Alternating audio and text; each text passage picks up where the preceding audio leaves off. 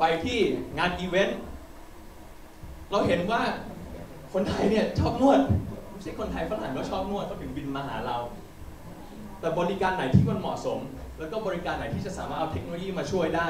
ทำให้มันไปถึงคนได้มากขึ้น ซึ่งก็คือ Oris นั่นเอง นี่ทุกคนรู้อยู่แล้วว่า โจทย์เราลูกค้าเราก็อาจจะเป็นคนที่ทำงานออฟฟิศไม่มีเวลาอย่างผม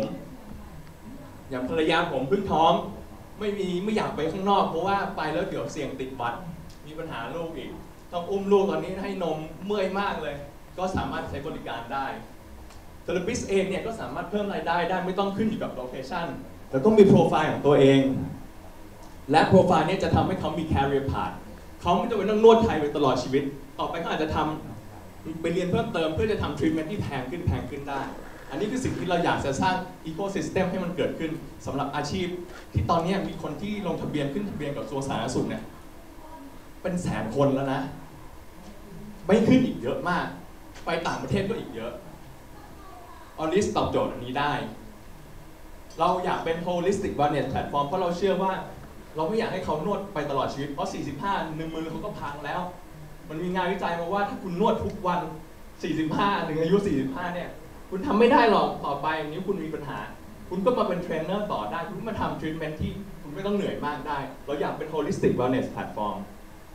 ซึ่ง business model เนี่ย ผมบอกตรงๆเลย คุณเอาไปเลย 70%แล้วลองให้มากกว่านี้อีกถ้าคุณทำดี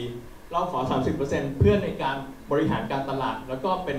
call center ในการ management ว่าให้คุณปลอดภัย ให้คุณเราพัฒนาเทคโนโลยีเพื่อให้คุณปลอดภัย แล้วคุณทำงานได้อย่าง effective ก็คือมีประสิทธิภาพที่สุดทำให้คุณได้เงินมากที่สุด เรามี partner หลายหลายหลายองค์องค์ความรู้ ไม่ว่าจะเป็นสถาบันสอนนวดเอง หรือว่าคนที่ทำด้านการสอนนวดอย่างเช่นนวดนวดนวดลูกน้อยด้วยรักนี่ก็คือนวดเด็กนะ infant massage เมืองไทยเนี่ย massage มันดังมาก แต่มันไม่มีคนทำ infant massage เลยเมืองนอกเขาดังกันทั้งโลกเลยเพราะว่ามันเพิ่มความสัมพันธ์ระหว่างพ่อแม่กับลูกพัฒนาการให้มันดีขึ้น ให้ลูกพัฒนาการดีขึ้น อันนี้เราก็ partner เพื่อจะมาอยู่ในระบบเราในการทำให้ therapist เนี่ยสามารถไปเรียนแล้วก็ไป training คนอื่นต่อได้ ต่อไป holistic มันต้องทั้งระบบทั้งจิตใจแล้วก็ร่างกายด้วย ก็จะมีเรื่องของ coaching ตอนนี้เราใช้ coaching ในการที่จะคอมเมนต์ therapist กลับไปเวลามี feedback วิ่งกลับมาของลูกค้า Traction ตอนนี้เราทำเป็น MVP แต่เดือนหน้าวันที่ 28 วันที่ 8 เดือนนี้จะมีเทเลบิส200 คนมาเทสมือกับเรา แล้วก็มีสถาบันที่มีชื่อเสียงมากในการที่จะเทสมือเขา เราสัมภาษณ์เขา เราดูโปรไฟล์เขาเราเช็คประวัติอาชญากรรมเขาไปสำนักงานตำรวจแห่งชาติ เราดูว่าเขาขึ้นทะเบียนกระทรวงสาธารณสุขหรือเปล่า ถึงจะให้เขามาบริการคุณ และแน่นอนก็อย่างที่บอก ผลตอบรับดีมาก ไม่ว่าจะเป็นออฟฟิศไม่ว่าจะเป็นคนทั่วไป ก็ชอบในการบริการของเรา เพราะว่าเราทำอย่างระมัดระวังรัดกุมแล้วก็ด้วยใจจริงๆโอเค สิ่งที่เราต่างจากเมืองนอกก็คือนวดไทยมัน สำหรับเมืองไทยมันเป็นสิ่งที่เข้าถึงง่าย affordable แต่เราอยากจะทำให้มันเพิ่มเติมก็คืออยากเราอยากให้มัน holistic เขาไปถึงเขาก็ขายของเพิ่มได้ เขาไปถึงเขาก็ขาย treatment อื่นเพิ่มได้ แล้วเราอยากพัฒนาแพลตฟอร์มให้มันครบวงจรยิ่งขึ้น สิ่งที่เรามีมากกว่าคนอื่น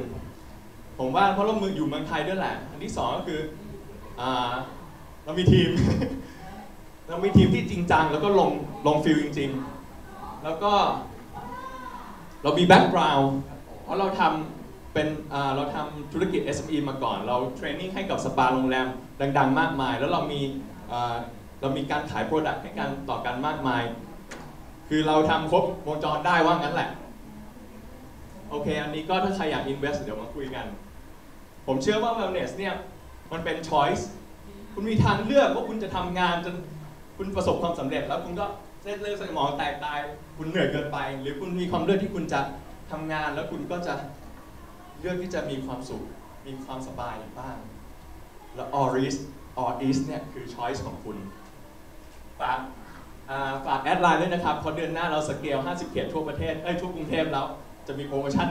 หนักๆ มาให้คุณแน่นอนครับ ขอบคุณครับ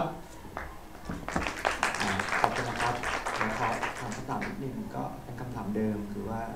ตัวของทางเนี่ยครับจะปกป้องตัวเองจากคู่แข่งได้ยังไงเราเรายินดีครับ อย่างที่บอกมันต้องสร้างอีโค y ิสเต็มให้เกิดขึ้นได้ มีคู่แข่งดีทำไม Grab กับ Uber ถึงมี SoftBank เป็นหุ้นเดียวกัน แล้วตอนนี้เขาก็เล่นแลกแปรธาตุได้ คือคู่แข่งมันดีมาก ร้านแว่นเนี่ยร้านแว่นตาเนี่ยยังต้องไปเปิด ผมจำไม่ได้ร้านแว่นตาต้องเปิดคู่แข่งมาเพื่อให้ทีมคึกคักที่จะทำตัวเองขึ้นไปเพราะผมรู้ว่ามีคู่แข่งในทีมผมคึกคักมากเลย ผมว่าดีกว่าเพราะคู่แข่งเราไม่ใช่เมืองไทย คือทั่วโลก อย่าลืมว่า therapist เราไปทั่วโลก ถ้า therapist เรามีคุณภาพนะมันเหมือนการรินน้ำใส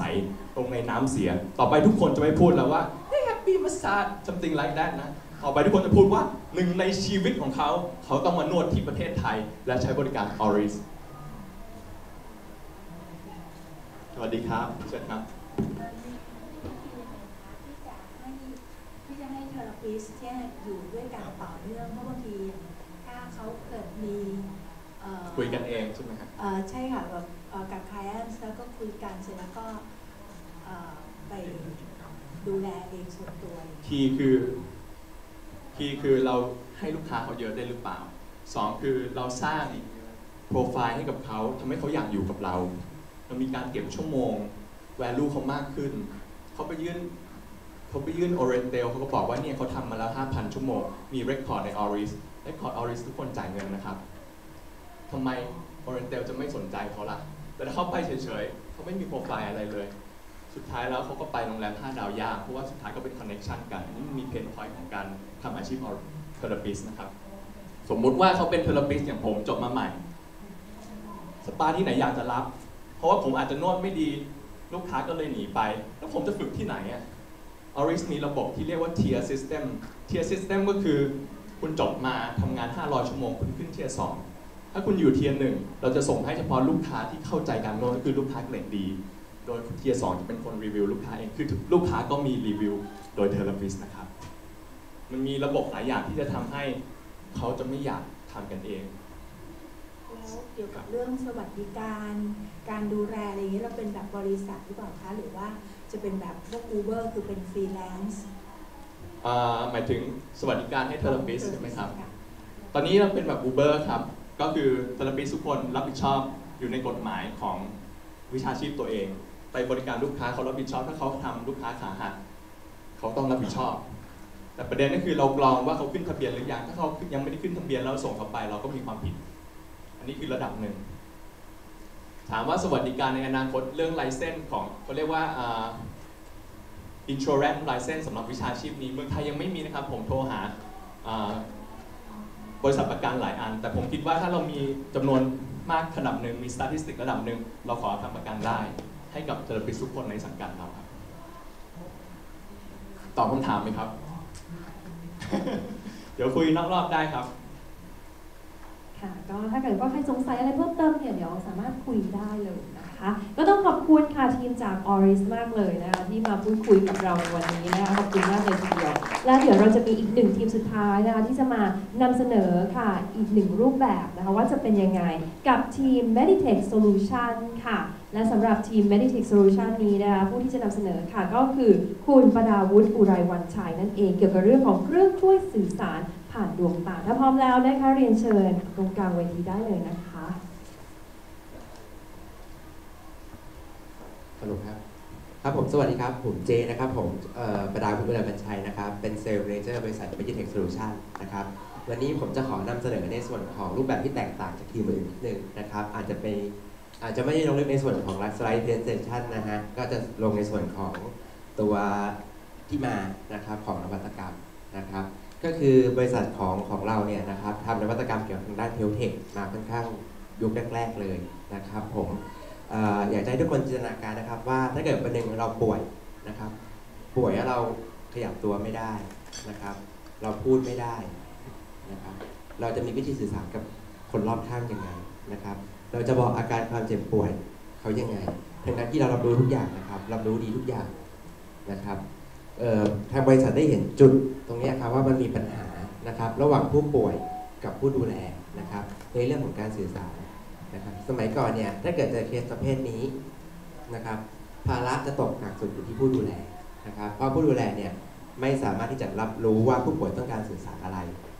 นะครับก็ต้องใช้วิธีการใช้บัตรคำขึ้นมา แล้วก็ถามว่าอันนี้ใช่ไหมกระพริบตาสองทีไม่ใช่ไม่ต้องกระพริบตา ยกไปเรื่อยๆจนกว่าจะเจอ keywordของเขาว่าใช่ก็ถึงกระพริบตาสองทีนะครับซึ่งเป็นปัญหาค่อนข้างหนักมากนะครับทำให้คุณภาพชีวิตของผู้ป่วยเนี่ยและผู้ดูแลเนี่ยแย่ลงไปทุกวัน นะครับ